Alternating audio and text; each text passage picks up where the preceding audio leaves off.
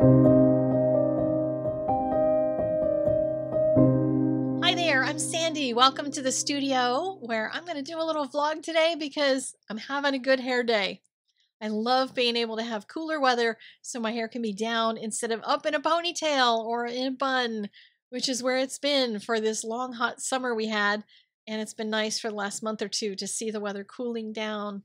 Yay! I also got a new pair of glasses, and the two of them together made me a little excited. Set up my camera along with my microphone and my soundboard and eCamm and just all the stuff that it takes when I shoot a vlog. Because it's a different setup than when I'm shooting my artwork. And when I moved everything earlier this year, I lost track of which plug went into which other plug and how it all came together, but I think I've got it figured out now. Yay! I am going to be posting a piece of artwork over here. I don't know what it is yet because I haven't created it, but you can watch that if you'd rather watch it than me, which is totally fine. I would love your feedback by the end of this video on whether or not you found yourself wanting to watch that and just listen to me, or do you need to see the face thing? Because I don't really like having my face out here all that much, but I would love seeing somebody do some artwork and chat with me about something as opposed to the face. But I'm going to let you weigh in on that as well as maybe some topics that you might have in your brain that I should talk about. Okay? My subject for today is why the heck am I still blogging in 2021? There's a lot of people who have stopped blogging. I've asked a lot of friends who have stopped why they did. A number of them have said it's because they just can't find subscribers anymore. Nobody is subscribing to blogs. I've had other people said that they just didn't build the community that they had hoped to build and they weren't getting comments, they weren't getting feedback. That's what they wanted was feedback from people on what they were creating. And they just didn't get that anymore. Other people said it was because the expense of hosting a blog was higher than the income that they were making from affiliate links. What that means is when you shop using someone's links, in general, if they have an affiliate disclosure, they are going to get a percentage of the income from whatever you purchase. But they also have to pay for their website, they have to pay for perhaps the URL that they purchase, they have to pay for if they use a service to deliver the blog to someone like MailChimp or something, which is what I use. It just doesn't balance out anymore because people aren't using affiliate links nearly as much as they used to. And the cost of running a blog is higher than that. So people have made the choice to just stop blogging entirely. So, that said, I'm going to give you my reasons for why I am still blogging after all these years. First one is because of my longtime subscribers, because I've been blogging since 2007. I have people who've been with me for a really long time, and they like to get their content sent to them via email or via whatever it whatever way it is that they get it if it's a feed reader or something and there are some people who regularly comment either on the blog or they reply to an email that they've gotten about the blog post and they give me their feedback. I know there's a bunch of people out there like that. God bless you all. I love you all. And for the nine people who regularly comment the most on my blog all the time I'm going to be heading to the grocery store after I get done with this video. Can I pick you up a pack of gum or something? Because, you know, we tight. All right. That's reason number one. Reason number two is because of SEO, search engine optimization. Now, I am terrible at doing SEO. You're supposed to write your post in such a way that the first paragraph has this in it, the second paragraph has that, and then there's a bolded sentence and then something at the end. There's like just all kinds of craziness that I never learned. So I don't do any of that. But what I figure is I have a bunch of words on my blog post that Google can look at and go, this is what that blog post is about. And when you type something in that has those keywords in it, then Google might send you my blog post. Yes, they sometimes will send a YouTube video when you're looking for something, but YouTube only has so many words in the title and maybe that first sentence. I feel like my blog posts are going to do that a little bit better, even if I'm not good at SEO stuff.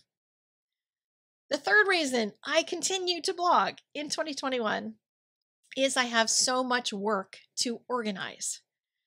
I could easily let go of all that stuff from the past and let it fly away and disappear, never to be seen again. But after all the work of making more than a thousand videos, I don't want to lose all that stuff. So, what I have chosen to do in 2021 is to put together blog posts where I collect each one of those into themes. So, on one Saturday, I'll put out a post that has all of my fall and Halloween videos in one big post. Another one, I'll do all of my Copic intermediate stuff. Another one, I'll do my beginner watercolor. And all year long, I've been doing these. So there's a ton of them out there.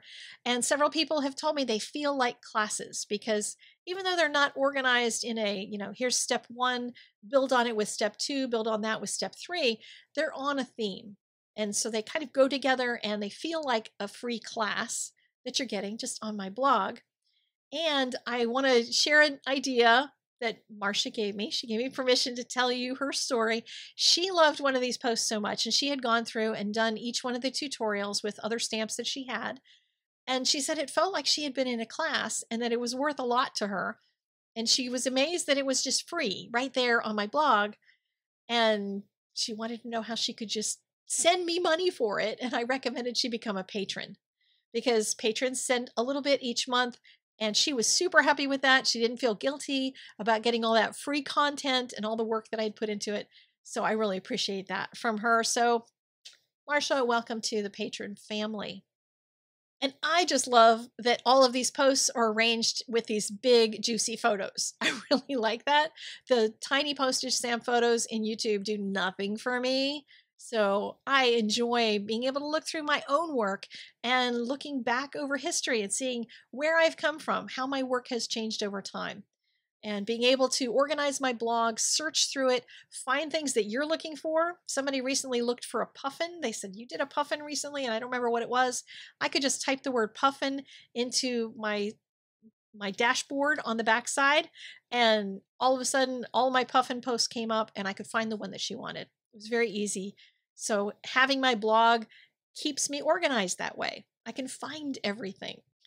The fourth reason why I am going to blog for the continuous future, as far as I can see, is what happened a few weeks ago. You might remember we had an outage of Facebook and Instagram for about six hours. The world went into a panic. Oh my goodness, what happens? There were rumors that went around that all of that content was gone, that it was wiped out. All your pictures, all your everything gone. I just went and took a walk. I went drawing with some friends. I did other things. I did not panic.